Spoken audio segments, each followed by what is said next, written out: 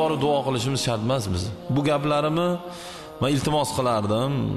Noto'g'ri tahlil qilmanglar. Mana shu gaplarimni noto'g'ri tahlil qilinishidan xudo xohlasa charchamaymanu. Qanaqadir haligi burga ichingizga kirib olsangiz chaqib o'ldirib bo'lmaydiyu ha sizga tevaveradiyu shunaqangi ishlar asabga tegyapti. Xudodan qo'rqing shunaqalari qanaqasiga man mana mana shu yerda o'tirib shuncha ming odam eshityapti.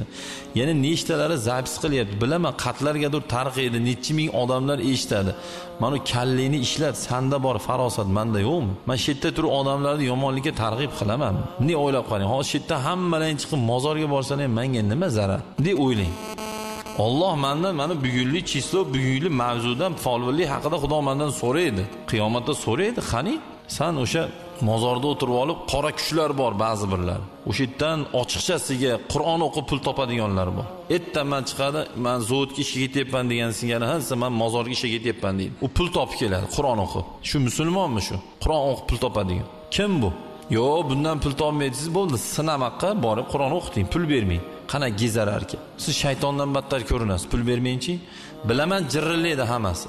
Mayli jirillasin qani bir hammasi to'planib bir harakat qilsinchi jirillab yonsin hammasi. Lekin dinda harom ish bo'lganligi uchun buni man gapirishim kerak. Islom yulduzi kanali.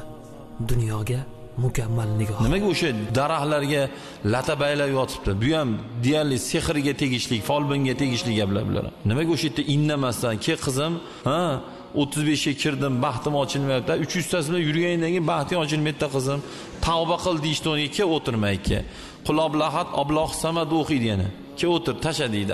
Alloh boraver deydi. Kim bu? Bu shayton bu. Minal jinnati va nas degan xudo qur'onda. Shayton jinlardan bo'ladi. Shayton